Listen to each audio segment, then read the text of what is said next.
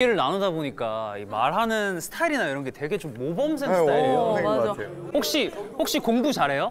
최고 등수 한번 얘기해봐요. 최고 등수. 아, 제 입으로 얘기하기 좀 그런데 예, 제 입으로 얘기해야 돼요. 열심히 했으니까 예 예. 이제 학교에서 전교 3등 자 여러분 놀라지 마세요.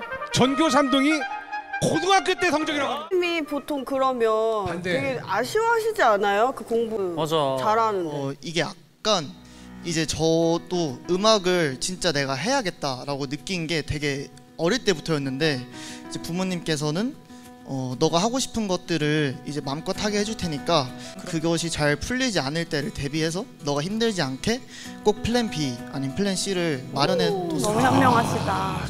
열심히 네, 연- 공부하면서 연습했던 것 같습니다.